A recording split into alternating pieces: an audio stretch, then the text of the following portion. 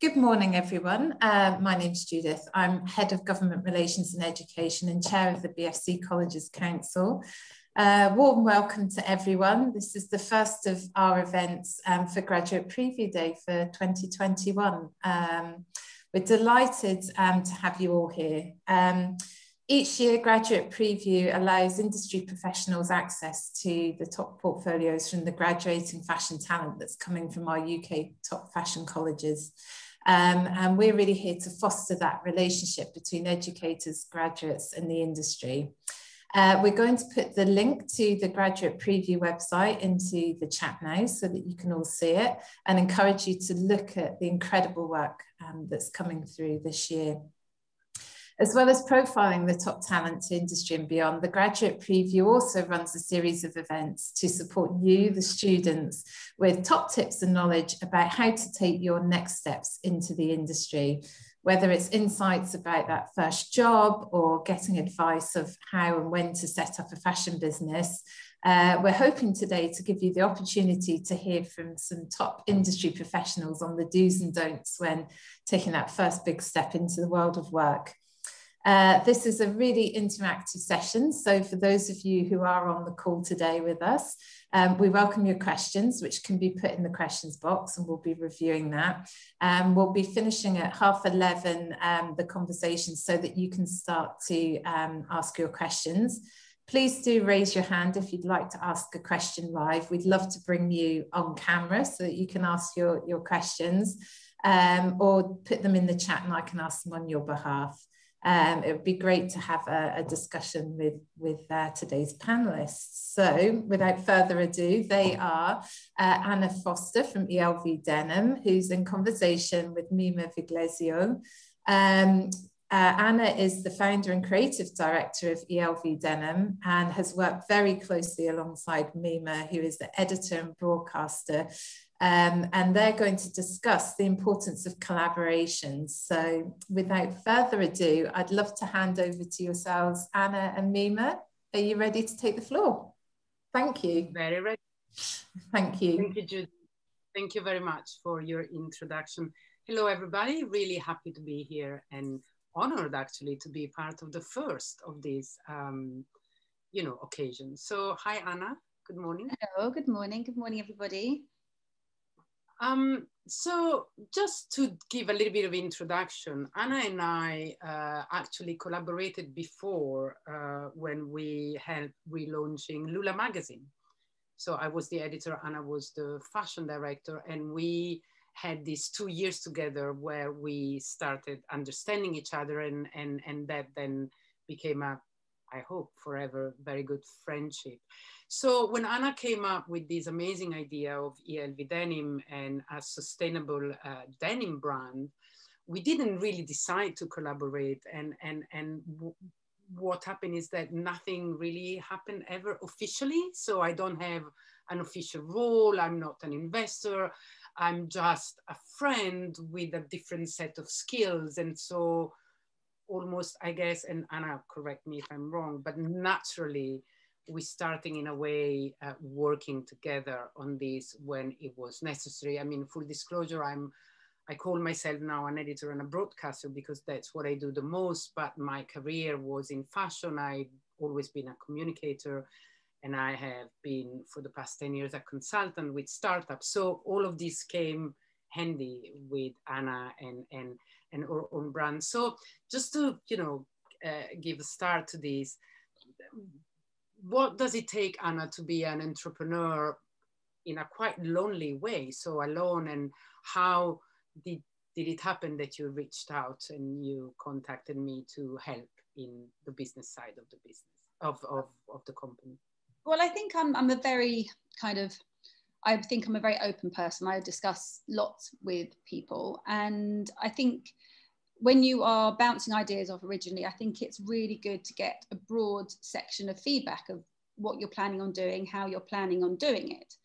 And I remember sitting with you in Paradigm, I think it was, in King's Cross, and we were just chatting about lots of kind of concepts. And then you can be quite tunnel vision when you have a when an idea, a brand, and how you want it to be aesthetically, how you want it to be, what your ethos is but then you've got the reality side of things, haven't you? And be, having been a stylist for 20 years, I worked for lots of young brands when they came out of college as their stylists, as a, you know, working with them, kind of, you know, curating their collections when they wanted to present it for the first time.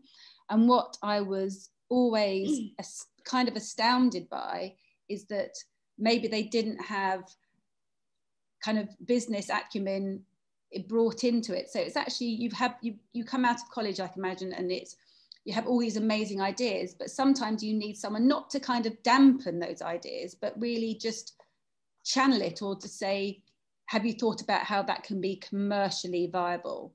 And that's what I think is drew me to you on this front. You know, we had worked together on much more of a creative level. Um, and I guess I hadn't probably tapped into those really kind of commercial business orientated ideas because we'd never really discussed them as much. And then yeah. with your experience working at the Gucci Group and Louis Vuitton and all those opportunities, you were able to kind of, I guess, not not lecture or kind of tell you, but actually say, well, this is what happened in this time. And by having those conversations, we were able to maybe take some advice or experience that you'd had in a different part of your life and apply it to what I was wanting to do. Um, and I mean, I think I've, have I always taken your advice? Have I ever not taken your advice? but you know, I, I want I want to say something here because I'm thinking of the audience we have yeah. and the students. So, in my last uh, corporate job, when I was at the at the then Gucci Group, now Kering, I was in a way it happened also quite spontaneously, but the link between the CEOs of the brands and their creative directors, because as everybody knows, sometimes creative directors are, as the word say, creative and they don't understand why they're not given millions to do a campaign when, etc., etc. And so for some reasons, I was the link because having some creativity in me, but also some business acumen, I spoke their language. And that's why I guess, Anna, with you, it happened naturally. We did something creative together. We redesigned and relaunched a magazine. But then you found out that I could also tell you, no, hold on, yeah, hold on a second. What about the scalability of the business?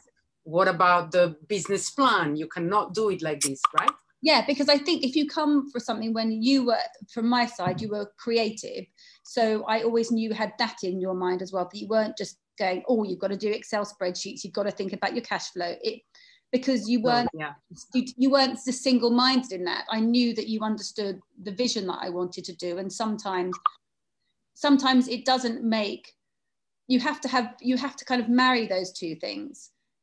You have to understand that fashion is ultimately what you want to be as a business. So you have to have someone guiding you along that route. But you can't just be single-minded in that group otherwise you don't achieve your vision so but knowing that you had two sides of your ability Brain.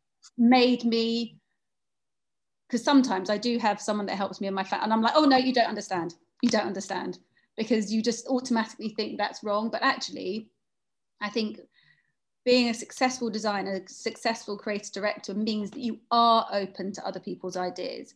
You might go there and then come back to what you originally wanted. But I think it's so important to listen and try and not think from the outset, oh, this is a wrong, this is a waste of time, because you always learn something on the way. You always do. Even if it's learning what you don't want to do, you always learn something from your mistakes, someone else's mistakes. And those are the things that really build strong foundations. I really believe that. I do, I do. You said something very interesting because no matter how how close a friend you are and how you understand each other's skills, but then you also have to believe in in in the vision and in the project. So I cannot, I could not work with you if you were doing the least sustainable denim brand because for me hmm. uh, today, making you know creating something that also talks to the needs for the environment or human rights is, is essential. I wouldn't want to work with someone who just launched a brand for its sake. Mm-hmm. And so that was a lucky. Encounter but maybe that's why also we became friends because we have the same values but um, i think it would be interesting for the students to hear what what it took to go from an idea to a company because you launched an idea and now you're scarily successful in your in your brand. And and it's what two years three years? Not three even three years, three right? years now, yeah. So can you can you tell us a little bit about that? I think it would be interesting to hear.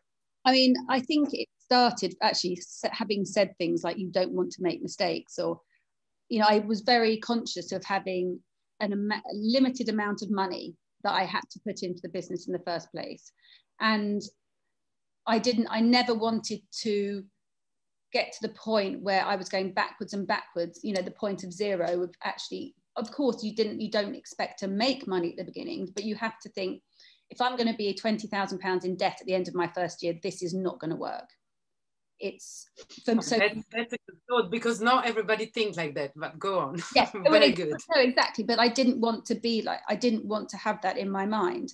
And I think it was slowly, surely taking really kind of baby steps. And because I, because I come from a completely different point, I haven't didn't graduate in fashion design from college. So I came from, I guess, from a different point of view. I knew my experience of what other people had been through. So I knew I had to kind of, you get to a certain stage, you make sure that everything that you've learned from is solid. And only when you've achieved that and you've succeeded on that level. So say I started my, I launched with one jean. So once that was successful and I literally I could do it my eyes closed, I then did my next one. And I know that's not always the case for uh, a ready to wear brand when you have to create collections. But I'd in my experience, I'd seen young designers create a whole new collection and then start a whole new collection the next season. And when you don't have the financial stability necessarily to invest in new patterns, materials, it seemed sensible to work on what you had originally as the base and make those tweaks. So, and I was able to create two new jeans based on the first jean, if that makes sense. Um, and so if you're thinking about on a scale level, I just, I, I think it, for me, it was not having too much waste from a material point of view and also from a business point of view. I didn't want anything to go to be just like oh that will never work or I, I wanted to be able to sell that eventually because you have to make money so you can you can do the next part.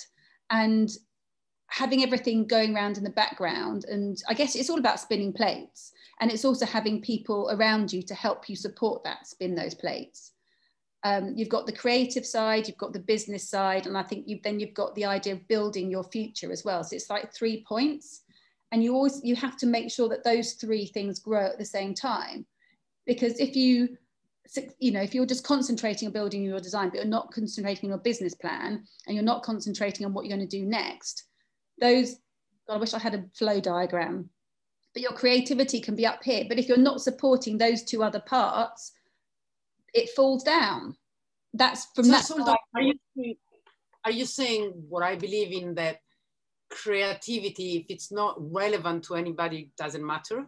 Is that what you're saying? Meaning, I, I think you always have to have an art, so it needs to be selling, right? Yeah, you have to be selling. You have to have an eye on what's going on, which is always not very easy because you can sometimes get so down a rabbit hole of what you're doing. You have to not, you know, I know you've said to me, oh, so and so's doing this. I'm like, oh, it doesn't matter. I don't mind. But you have to kind of have an eye on the world, what's happening, being able to kind of, and then also it helps you collaborate sometimes with another uh, creative brand, not necessarily collaborating with a business mind or someone else that's helping with your business. It just, you know, some of the most exciting projects I've done is from communicating with other brands and seeing where you can share resources or share ideas. Um, and it's very hard right now because we don't get to have that face to face and I do miss that. And I think anyone coming through now is it's trying to get that face-to-face time with someone. You know, Zoom meetings do facilitate facilitate. Um, a, they help with a problem that we have right now. But you know, I see someone I haven't seen for ages on a, from a creative level. It's literally like you can't wait to talk to someone because those ideas you can have literally a conversation with them for five minutes and you the the outcome of that is so much more than it would be on having a Zoom call. but I just I so what I'm trying to say is I think that you're right. I think that it you have to have all parts working at the same time. Of course, some creative activity has a jump and then, but then you've got to think about your business plan. You've got to think about um, growing and where you see your vision in a year's time, two years time. Like it's hard to do that. I struggle. You always say to me, "What's your, you know, what's your five-year plan?" I'm like, "Oh my god, I don't know what my five-year plan is." Think where you want thing, it. I think, I think, and tell me if you agree that you did that after years of experience yeah. in a job, after being a mother and building a family. And so I'm not, I don't mean by this that you're old, but you're older than most of the students no, yeah, that start yeah, yeah. day after left uni. And so don't you think that that's not easier, but I mean, when you say, you know, you have to have a vision and a creativity, and that was my idea, but you also have to have or find the way to do a business plan, etc. But mm-hmm. all of that, and when you say, I didn't want to be 20 million in debt after the first year, or sorry, 20 million, yeah, 20,000 yeah, yeah. in debt after the first term, etc., etc. But when you're 22 and you have great ideas, I mean, I work with students and yeah, know, and I've seen some of the things. I've looked at the preview, and it's incredible. Some of the work. Amazing. What do they have to do? You know, they're not 40 years old. They don't have kids. They don't have a family budget. They haven't been around and seen. You know, we've seen the magazine we've done together. We've seen what mm. happened there. So how? How? I mean, what? Could, how do they need to collaborate with someone? Because someone else will talk about collaborating with other brands, and so collaborating on a creative side. Yeah. But we're talking about finding the balance between you know the business not killing your idea and that's what you and i have start you know have tried doing since the beginning but still making it relevant and scalable so do you think that being a little bit older and a little bit more experienced helped i, I think definitely. I mean i remember well in another past life i really you know i left school and i went to i went went to be a dancer. I went to the laban center and i just thought i knew it all. Honestly, I thought I was, I knew everything. And after my first year of da- dance college, I dropped out because I didn't have the, I had the vision about what I wanted to be a dancer, but I didn't think about the training. I didn't have that whole kind of 360 determination that you needed. And some of the girls that were much older than boys that were older than me, they'd been, they'd experienced, and they knew, and they had a much of a stronger vision what they wanted to do. So I think I was naive in, in my approach in certain ways. And so I took a step back um, and then I ended up in fashion eventually anyway, uh, ended up in fashion, not being a dancer. But what I'm trying to say is that I think you can make rash decisions as a young person. So I know that coming to my experience now with my business, that I look at it in a very methodical way a lot of the time. And I guess I cannot really kind of talk enough about how important seeking advice is from other people outside the industry, whether they they don't have to be in the fashion industry to understand cash flow or just keeping a chart of your accounts. I mean, I think even just having an envelope, that you put all your receipts in at the end of the month and then totting them up. Because I mean, I know it sounds really basic, but even as a stylist, as a you know an assistant, and when I started myself, I'd put all my receipts, and you know on a Sunday night at the end of the month, I would put them all together and go, okay, need to kind of cut back on that, because it's and it's just you might you know speaking to my dad, who had no idea about fashion industry, but he came from a different point of view, and I think just talking to people and talking to people that you believe have an area of expertise not in your not in your field it doesn't really matter because collaboration with someone's point of view can always benefit your vision it's yeah it, it's very hard because i know that i'm talking from a lot of experience and i'm talking about when i was a dancer at 18 because that's the only time i can remember kind of going into something literally feet first and not really thinking about the bigger picture um, and I think you have to have a very good point of view. I think you have to have to find what your what point of view makes you different from other people.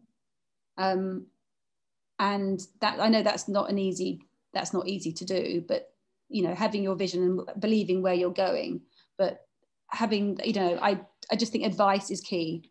It doesn't take a lot to kind of talk to people. And and and what about i'd like to talk a little bit about creative collaboration because i don't know if our audience knows but um, you created this hashtag elv denim family. So mm-hmm. it's the people you are surrounded by. They can be real family so blood family or family you know as you call it your friends the people you admire the people that inspire you and and you do campaigns with them. Um, so is that a creative collaboration? I mean do you listen to their feedback? They they and i can say i because i was very lucky to be in the first elv family but i mean do they wear your jeans do they believe in what you're doing for the denim industry i mean talk about a little bit about the creative um, yeah so so, I mean, literally, as I say, you know, I do talk a lot to people, um, and everybody in my campaign is someone that I really value their advice. I do take their advice. Um, I, you know, just for example, my sister's in my new campaign, and my sister and I couldn't be further apart when it comes to kind of personalities. Um, and she's very sensible. Uh, but she loves the jeans and she loves what I'm doing. And, you know, we're, we're launching her picture this week. And, you know, everyone else kind of you know wrote all these long you know talking about how much they admired the you know the concept and they loved the jeans. My sister was like i have a very different attitude to clothes.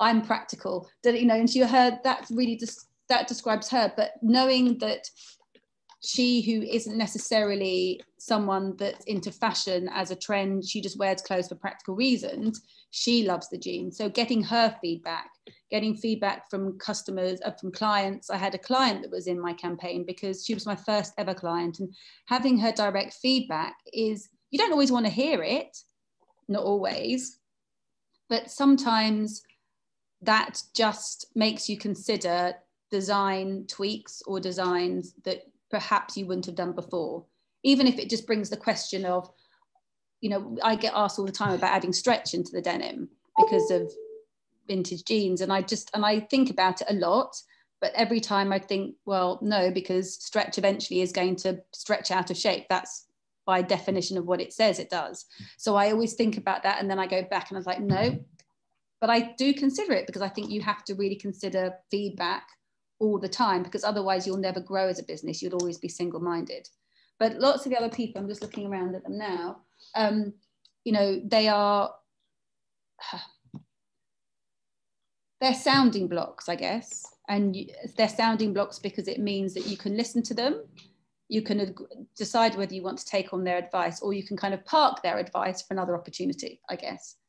And then you're. What's the, what's the line between getting a feedback on board and one not. And by that, I mean, even, you know, you and I had this discussion in, in the business, but sometimes someone gives you feedback and you know that that's wrong. You know, you know, sometimes I know, sometimes I doubt, and sometimes I'm stubborn, but sometimes I know that I know better.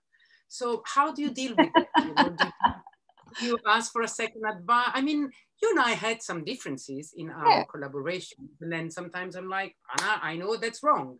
And sometimes I'm like, oh, I'm sorry, you were right. Rarely, but it can happen.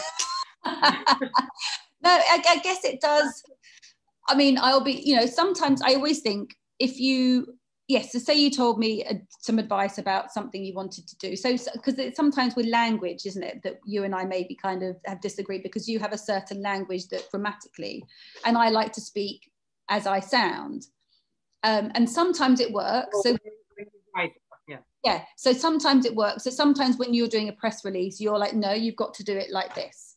But when it's when we've been talking about all the new ELV family people and they've been writing questions and we've been having conversations, we agreed to keep the language as I would have it, the way I talk and the way they talk. So, you know, I think you understood how, what, what I wanted to do in that point. And even though inside you're going, but it's not grammatically correct. You understand. nerd. You understand that that's my vision and how I want it to come across. Otherwise, it isn't me anymore. Yeah, and, yeah, that, that's a good one, but like for instance, the stretch thing, you know, yeah. some people would tell you, as you said, you need to do this and that because of the commerce and whatever. And you yeah. once told me, but it's wrong because it's not sustainable or because it doesn't keep the shape. So what I'm trying to say here, and it's not a question, this is something I think that in everything, in life, in business, in whatever, sometimes you know you're right and, and, and, and, and the future will prove you right. And so sometimes you just say no. But I'm also, not taking but this. Also, sometimes you have to think, but also I think sometimes even though I know that stretch isn't right, I know that it goes against, but because we're going to eventually, I'm thinking in the back of my mind, do I need to start bringing in stretch because the amount of stretched denim that gets chucked into landfill is absolutely humongous. And so I need to find a solution yeah, for that so problem. Need, but therefore, I have a little kind of little thing in my head going, waste, stretch, stretch, stretch all the time. And then maybe I will have to kind of address that, but but it will because it will be a necessity, I guess. Because that's what I want this business to do. I think I want, I always design from a point of waste. And if at one point waste is all that stretch, then you have to kind of deal with it then. Um, so yeah. are, are you finding a solution? I'm thinking about. Are you finding someone who can help you? I'm. At the moment, are you collaborating? Sorry. Are you finding someone who can help you finding a solution on this? Yes, I mean yes. We've got. I've got lots of. It might not become jeans, but it's going to come into something eventually. Um, and I think that's also another side of the business is that I'm as as I as you as I think as one goes into further what their vision is, sometimes you find that a side of your business might not be creating jeans. it might be creating a solution to a problem that has a link to your business, but isn't actually, it's just in the world of fashion, it's the world of material and the world of environmental consciousness um, without giving too much away. I was trying, I was trying to get a scoop here. Um, I, don't I don't know. I see. I'm I'm conscious about time, but because um, maybe my next question would be a little bit long, but let's try before the, the, the questions from the students. You said it at the beginning when you were saying, you know, I came out of college and I had no idea about business and whatever. I had ideas, I had things I wanted to do.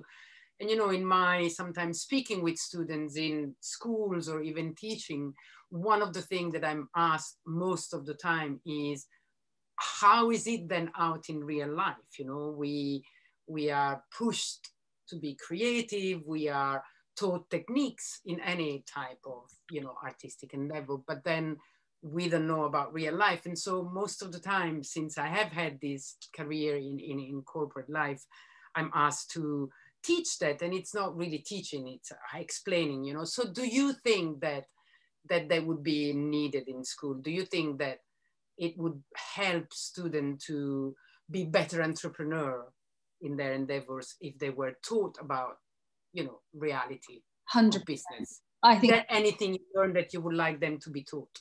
I mean i think it's i think it's definitely about having a cash flow process. I think that business is really important because and I, God, and I just, I hope there are no kind of creators of curators of the exam boards on here because I really think it's important to teach business of fashion and business of design with it, whether it becomes a different option that people can, you know, a, a module that people can add on to their class because I can understand you get taught so much that you need to learn in those three, four years.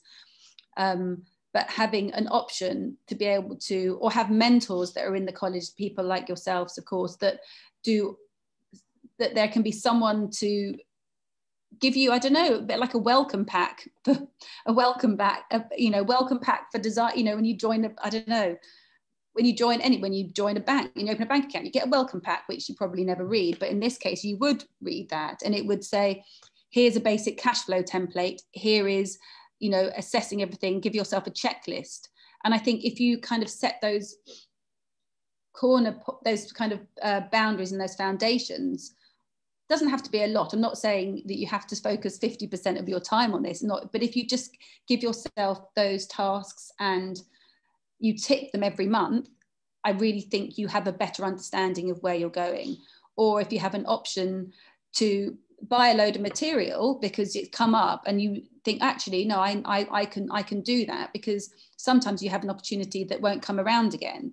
Um, but also it could be that you have two opportunities that month. And I've had it when I'm like I would love to take this now but I don't have the storage. And yes it sometimes it's annoying you couldn't I had an opportunity to take a whole pile of denim but I couldn't put it anywhere I really couldn't store it and um, and then I lost that opportunity. And then I, I do wish I'd taken that up, but it's, I couldn't afford it. And if I had done that done, I might not have been in this position now because, so you always have to weigh up whether it's worth it or not. But cash flow, you know, basic accounting, I think would be really good. And I know there are people out there that are able to advise, and I know the BFC have a load of teams. Sorry, I'm now putting it back on you guys.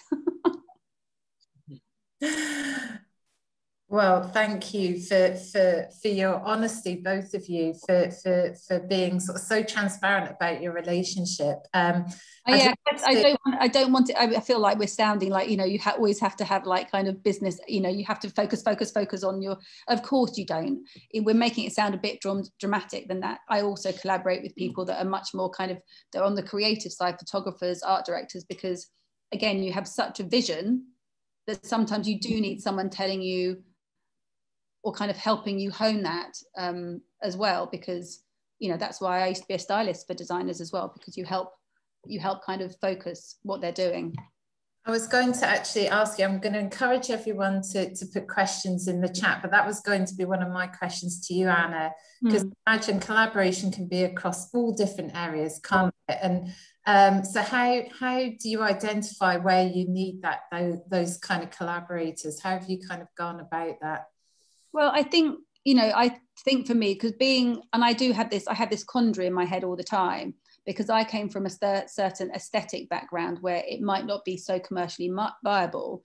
But then I've also got to realize that I have a denim brand and denim is a very commercial item. So I have to have some image. So the, all the imagery that I have to convey, I never want it to isolate anybody particularly because but then the side of my side, then I, you know, I, I, collaborated with Display Copy recently, which is a magazine based out in in New York, and their images were just utterly beautiful. And if I could create all those images all the time like that, I would. But I know it would not really talk to a lot of my people that buy my jeans. Mm. So I think it's sometimes working with stylists or art directors that have that kind of connection with with your i guess your top vision of how you'd want your jeans to be and yeah. then dotting those in occasionally amongst the campaign imagery and the imagery that you know speaks to lots of people and i yeah. think just not it's sometimes getting that balance is really is a fine balance and can i ask you Mimma because i imagine as the collaborator um, imagine a lot of people turn to you for support. So how do you decide? Is this a bit mean? How do you decide who you want to help and who you want to get involved with? It's a very, very good question because I do receive, you have no idea, sometimes I receive. So I'm glad to be in the in the eye of young people because they are the one I want to work with, but I receive photos of potential collections that are like disaster. And so the first thing I tell people I'm brutally honest. So I will work with you for money or for free because it's not always for money if I believe in what you do. So that's for me, it's the only thing. Yeah. I have, first of all, to think that your product or idea or whatever it is, is follows my values, is original, so beautiful, it's a bit subjective, but I mean, has has some legs, you know, can go somewhere because of its originality, needed, whatever. And if I like you as a person, because I've had even bigger brands that were paying better, but then the people would pay you not to listen to you. So I've had, I'm not mentioning names, but a big brand where they were asking me in a meeting and then to explain to me things. And I'm, right, I mean, if you know it all, what? So short answer is I have to believe in who you are, yeah. what you're doing, and why. but I, I think you know it, it, is, it is subjective, isn't it? Because also it could be that Mimma, you don't like it, but the next person will, because otherwise, if we all like the same thing, it would be a disaster. Oh, yeah, yeah. There's always going to be yeah. Yeah, but hold on, it's not a subjective liking because in my career I also learn to make a difference between what I would wear or do or okay, yeah, what, and what makes sense in the world. So that it's not subjective, you know, but there are things that I know because I am, you know, experienced that yeah. will not go anywhere. Yeah. And so I wouldn't. I'm, I'm going to bring on a student, Franco, who I know and I hope doesn't mind just being straight on because we have a question from Franco. Are you there? This is always a bit of the Eurovision moment, whether you can get the person on successfully. It's a really interesting question, actually, Franco. So I'm happy yeah. to answer that. Oh, I haven't seen it. Hello, Franco. Hello. Hello. Hello, how are you? Hello, Franco. It would be nice to see your face. Uh, yeah. Oh, hi. Oh. Hello. Hi. Hi. How are you? Um, Franco's question, Mimma, is kind of the coronavirus pandemic has made finding work experience and contacts challenging. How do you plan on approaching the industry in this new context? I totally understand. I mean, we have people asking to do work experience with us all the time, but and I do understand this the trouble is is that you're i didn't and i didn't realize we made a mistake i'll be completely honest we took on a work experience person that was a graduate by accident because we didn't i didn't know that you aren't allowed to do that um, and so someone very kindly pointed it out to me uh, um, and because i guess you know you have lots of brands that would exploit your degree and your graduate but then how do you then undergraduates come to you for work experience we're taking on an undergraduate in um, in as part of their course. But I do understand it's such a, it's, it's so difficult because you've got brands that would love to take you on for a little bit, but they can't afford to take you on. And then you want to do the experience and you're happy. To, so it's, I guess it's, but then you've got so many chance opportunity. Well, you've had so many experiences where st- post grads come in and then they get completely exploited by brands working for a year, two years. So I know that's what we're trying to stop. But I, you know, maybe Mimma, Judith, you have because I, I, I do, I see so many people what amazing, and I'm like, I'd love to take you on, but I can't afford to. Well, Franco, if it was just you and me uh, in front of a coffee, I would probably be less diplomatic that I will have to be here. But I'm a little bit, I mean, I've seen so many brands interviewing young, just graduate people like five times for an unpaid internship and then telling them, actually, your CV is not really what I need. And I'm like, I'm working for free to learn, and you're telling me that I'm not the right person. So I'm really angry with the fact that, as Anna said, some people work for a year for free. So I think here government should come in and really check on regulations because I do believe that if you happen to be hired for an internship of two, mind, two months by someone like Anna or other good people I know or me, then we would teach you something. Yeah, we would really, you know, it will serve you, and we will get from you because I always learn from you guys. But we will give you as much as we can. Two months, three months, boom, you know, and then maybe oh. you get even yeah. higher because you're good. But, but when it, you found it, Franco? Sorry, Mimma. Sorry, I was going to say, Franco, how have you found it um, trying to get your contacts, especially at the moment? What What have you been doing to? so, like, um, after graduate, um, I've been sending like a bunch of emails out, like yeah. uh, for jobs or internship, and they are all coming to me back saying maybe I've not got enough experience during the pandemic and I was just like, unfortunately, like I couldn't go to do my internship because of the pandemic. So I've been working like in retail and trying to like do my graduate collection, but yeah, so like that's why I'm just like trying to like get anywhere that I could um, get yeah. from now to just get yeah. experience and later on see what you might have in the future. And just don't forget that any experience that you have, particularly if it's in retail, whatever, is still showing skills that will be needed by these fashion brands. So just really big those up, you know, that you've seen customers, you understand customers, etc. You know, make sure you're really highlighting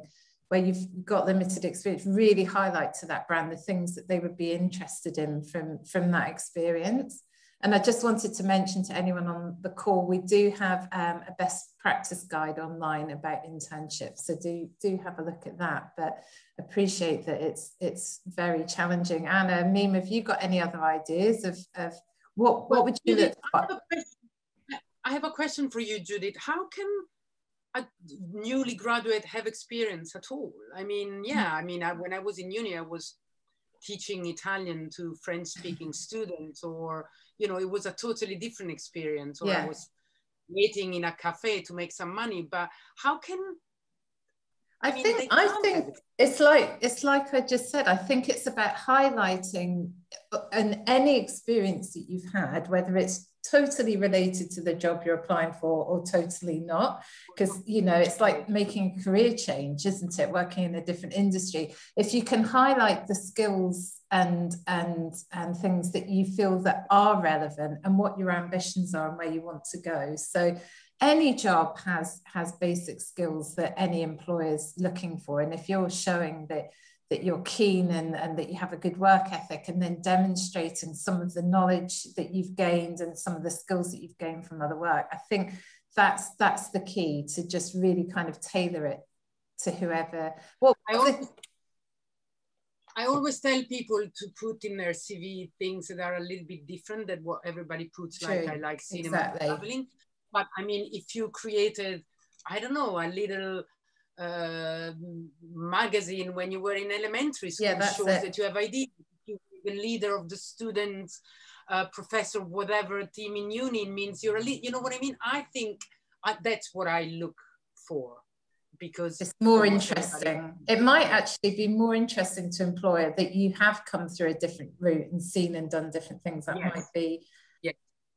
I mean, yeah, that, that, I mean, that's what happened to me when I was, I left I went to uni, did a completely different job, and then I happened to do work experience at i-D magazine, and that's and Jane How came in looking for a stylist, and because I was so organised, that's why she took me on. Because Fiona Della Negra at i-D was like saying, you can have Anna, but you can't have her for two months because she's really amazing and she's really organised. Jane literally took me that day. I had no experience in styling whatsoever, apart from being in a magazine for two weeks.